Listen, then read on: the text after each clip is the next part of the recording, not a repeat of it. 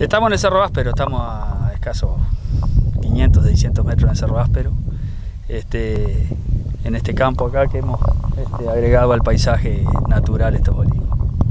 Olivares eh, varias variedades. Sí, en este caso acá hay tres variedades, picual, arbequina y frantoio. Este, son, fueron las variedades que, que se plantaron acá, 10.000 plantas más o menos. Llega esta época y uno se pregunta, ¿verdad? ¿Qué carga frutal? ¿Qué variedades? ¿Con qué aceites tendremos de Altos de Castillos? Bueno, eh, en cuanto a las variedades varía un poquito eh, la carga del árbol, ¿verdad? Pero, pero bueno, más o menos este, eh, la cosecha de este año que corresponde que haya una buena cosecha, porque normalmente entramos en becería y este año le tocaría producir, digamos, el árbol. Este, y bueno, la, la, carga es pareja de las plantas más o menos. Tenemos en el orden de 15 kilos por planta más o menos. Vemos el árbol acá y uno se pregunta, para los que no conocen, ¿cuánto demora un árbol en dar su, su, este, su primer fruto?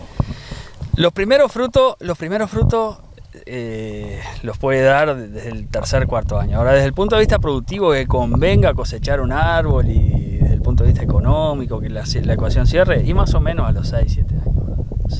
5, 6, depende de la variedad un poco también. ¿De qué tiempo estamos hablando de estos árboles? Esto, tienen, esto nosotros tenemos 10 años acá, entre 8 y 10 años. ¿Cuántas hectáreas hay acá plantadas? Acá hay 40 hectáreas plantadas y más o menos es este, una densidad de 300 plantas por hectárea, pero bueno, hay faltantes y tenemos 11.000 plantas, 10, 11.000 plantas. Cuéntame un poco de, de la variedad picuá. El picual, el picual es, es, una variedad que española, que viene de España. Este, es, es, pienso yo, a mi, a mi entender, el aceite más sabroso que hay. Este, la característica forma del picual con la aceitunita con el, terminada en, en, piquito, digamos, que es lo que le da esa característica, le da el nombre. Y bueno, es una de las variedades que tenemos acá, tiene mucha producción, este, producen racimos generalmente, así que este, estamos este, nada, contentos de, de, poder tener este año producción, que en este caso, en esta plantación, es los primeros años que tenemos buena producción en las plantas. Todos los aceites de oliva, cuando son jóvenes, tienen un sabor de mayor picor y cuando más adulto el aceite, más, de más tiempo, tono, tono, tiene un tono de mayor, eh, más amargo. A ver, eh, para la, para la, en, en, la cultura de consumo del Uruguay y, y, y, en la parte sensorial como consumidores de aceite de oliva los uruguayos, eh, en realidad eh, distinguimos poco eh, los polifenoles del, del, del, aceite, o sea, la, la, sí. la, las diferentes variables este, sensoriales que pueda tener un aceite y otro, ¿no? incluso hasta si cambia de, de variedad, o sea, la arbequina, por ejemplo, que es una de las variedades que tenemos acá, eh, nosotros decimos que literalmente el aceite no tiene gusto a nada. O sea, sensorialmente hay que ser muy bueno para encontrar algún, este, alguna, algún valor sensorial. ¿Con qué lo asociamos? Eh, bueno, esto tiene olor a pasto cortado, a cáscara de banana. Tiene que ser este, elementos sensoriales colectivos. ¿no? Yo no puedo decir, no, esto tiene gusto a las naranjas que cosechaba mi abuela, porque en realidad eso sería una experiencia personal, digamos. Tiene sí, que ser, claro. este, bueno, el pasto cuando uno lo corta libera oxina y eso es el olor particular de pasto cortado. Esto también, cuando se oxigena el aceite en la boca, libera oxinas y entonces eso le permite a gente con paladar entrenado ¿tá? que pueda distinguir diferentes notas o este, sabores dentro de lo que es un aceite de oliva. Para el común de la gente es un poco más difícil. 15 kilos hablabas por planta, tradúcemelo a botellas a esto.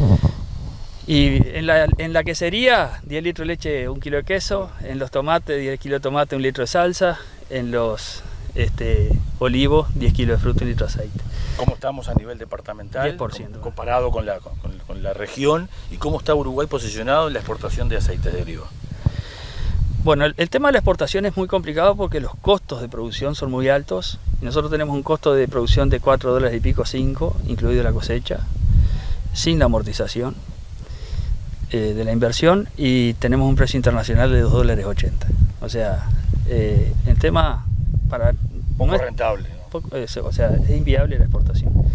En, en, producciones como esta, artesanales, digamos, generalmente el, el, el, el aceite que, que, brindan las plantas, se, la fruta, eh, se coloca a nivel local, digamos. ¿no?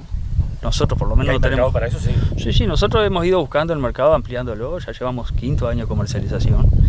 Y, y bueno, y, y cada vez más, por suerte, tenemos, este, vamos encontrando clientes porque el consumo de aceite de oliva en Uruguay ha crecido. ¿no? O sea, Aquí está cambiando la cultura de la cocina, de lo saludable de comer y de lo novedoso de comer nuevos productos locales. Sí, yo creo que sí. La, cultura de consumo de, aceite de oliva en Uruguay ha cambiado, ¿no? O sea, ha pasado de repente de hace seis años a, hacer, no sé, 200 gramos por, persona a, casi un litro, ¿no? 700 y pico, 800 gramos por litro por persona hoy, hoy en día, ¿no? Eso son cuatro veces más.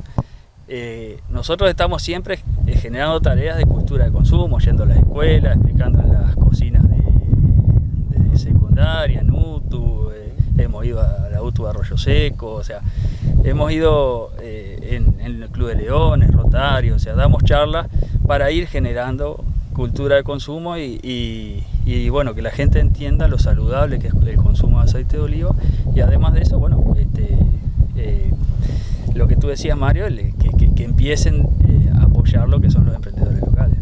¿Qué podemos esperar de Altos de Castillos en aceites, por lo tanto, eh, este, enseguida del otoño? Y bueno, un aceite verde, porque nosotros cosechamos en la prueba de, maduración tenemos 86 aceitunas verdes en 100. Eso quiere decir que va a ser un aceite de muy buena calidad, este, con árboles con excelente sanidad, con frutas de excelente sanidad y bueno, muy cuidada la parte productiva y bueno, después cuando cosechemos y, y obtengamos el aceite, continuar la cadena de valor de ese, de ese aceite y poder este, y poder este, llegar a la gente como hemos llegado hasta el día de hoy con, con- con lo mejor de nosotros. digamos. Vemos el fruto hoy en el árbol. ¿Cuánto tiempo lo separa desde que se cosecha hasta que está en la mesa de cualquier rochense? Bueno, el proceso de, de- de- el proceso de filtrado está de- de- de- determinado dentro de las 24, eso se cosecha y dentro de las 24 horas tendría que ya estar que, eh, elaborado aceite, ¿verdad?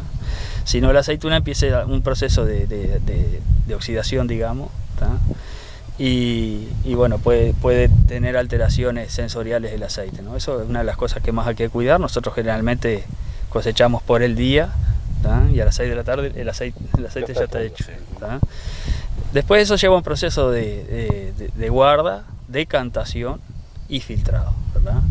Estamos hablando de que si nosotros, por ejemplo, eh, cosecháramos en los primeros días de abril, eh, eh, mediados de mayo, más o menos, estaríamos ya eh, consumiendo el aceite de esta cosecha. ¿no? Producto arriba. Totalmente. El año pasado la, la uva tuvo una producción muy importante en nuestro país. Eh, ¿Qué pasó con, con los olivos el año pasado y qué puede pasar este año?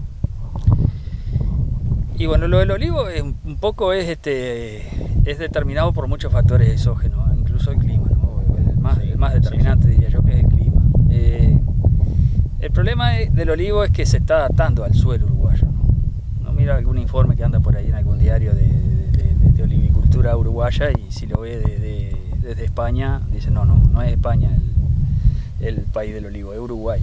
En realidad no es así, Uruguay es un país húmedo, proliferan muchos hongos, enfermedades, este, que por suerte los hemos ido controlando con productos agroecológicos, ¿no? O sea, no nos hemos salido de la línea ecológica. Pero sí este, hemos tenido problemas y la ecuación inicial que plantearon algunos ingenieros agrónomos de lo que iba a ser la producción olivícola no es así. O sea, siempre y cuando no tengas un mercado donde tú puedas colocar el producto final, es muy difícil. De hecho, ustedes ven que hay muchas plantaciones, incluso en Rocha, hoy en día se están cerrando 280 hectáreas para plantar eucalipto. O sea que eh, desde el punto de vista productivo es un, un cultivo complicado. Ahora, el año pasado entró en becería, el año pasado fue de muy poca producción.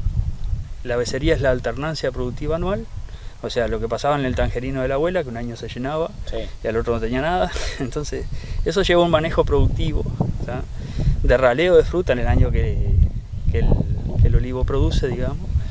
Y después de una poda, y bueno, y lleva también fertilización y demás. Pero es caro. Después que está la fruta en el árbol, nadie la quiere arrancar, nadie la quiere ralear.